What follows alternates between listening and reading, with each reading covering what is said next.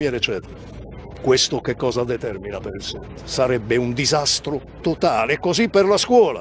La Regione Campania ha chiesto l'autonomia, ma ha proposto un modello che è esattamente il contrario di quello proposto dagli amici del Nord, ed è quello del modello ZES, cioè burocrazia zero ma senza toccare i fondamenti costituzionali di questo Paese. Burocrazia zero, ma unità d'Italia. Quindi degli aggettivi che ha usato, farabutti, imbecilli, delinquenti, non se ne rimangia nessuno all'indirizzo del governo? Capisco che erano forse un po' inadeguati rispetto alla gravità dei comportamenti del governo. La prossima volta farò meglio, diciamo.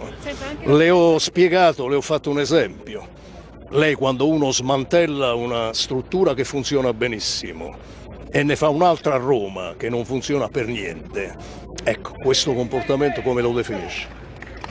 Lei come lo definisce? Da imbecilli. Lei trovi un altro aggettivo.